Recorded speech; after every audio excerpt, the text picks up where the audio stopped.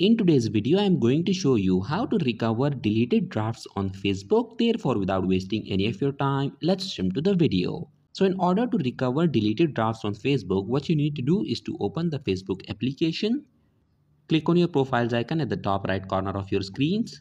Then go to settings. Now scroll down and click on this download your information option. Tap on request a download.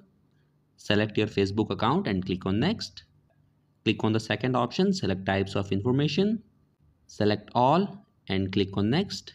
Now all you have to do is to click on the submit request option and after you click on submit request, a file containing your deleted drafts on Facebook will be sent to your email address. Once you have received that file, all you have to do is to download it and your deleted drafts on Facebook will be recovered. So that was it for this video and I'll see you guys in the next one. Peace out.